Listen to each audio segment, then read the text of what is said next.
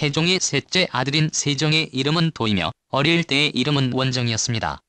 1418년에 태자로 있던 형량영대군이 밀려나면서 태자로 책봉된 세종은 그해 8월 22세의 젊은 나이로 임금에 오른 뒤 나라가 발전되고 백성들의 삶이 편안해지려면 먼저 학문을 일으켜야 한다고 생각하고 궁중에 지편전을 설치하였습니다. 그곳에서 젊고 재능 있는 젊은 문신들로 하여금 학문을 연구하게 하는 한편 관찰사를 통하여 지방의 숨은 인재들을 찾아내어 추천하도록 명을 내렸습니다. 활자를 개량하고 인쇄술을 다듬으면서 고려사, 농사직설, 효행록, 팔도지리지 등 여러가지 서적들을 간행하였습니다. 그러나 우리의 글자가 없어 한문을 빌려 쓰기 때문에 불편함이 크고 내용도 어려워서 백성들은 알 수가 없었습니다.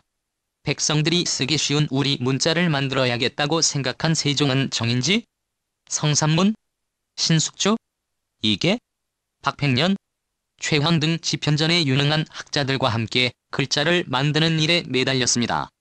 드디어 세종 25년인 1443년 꿈에 그리던 한글을 만들어냈고 다시 3년 동안 한글의 실제 사용에 대한 문제점을 검토한 끝에 1446년 음력 9월 29일 한글을 반포하니 이것이 곧 훈민정음입니다.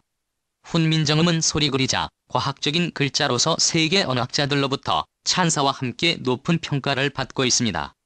세종은 해시계, 혼천해 등 과학 발명품을 비롯하여 의학, 농업 등 여러 분야에서 많은 발명품을 만들어냈습니다.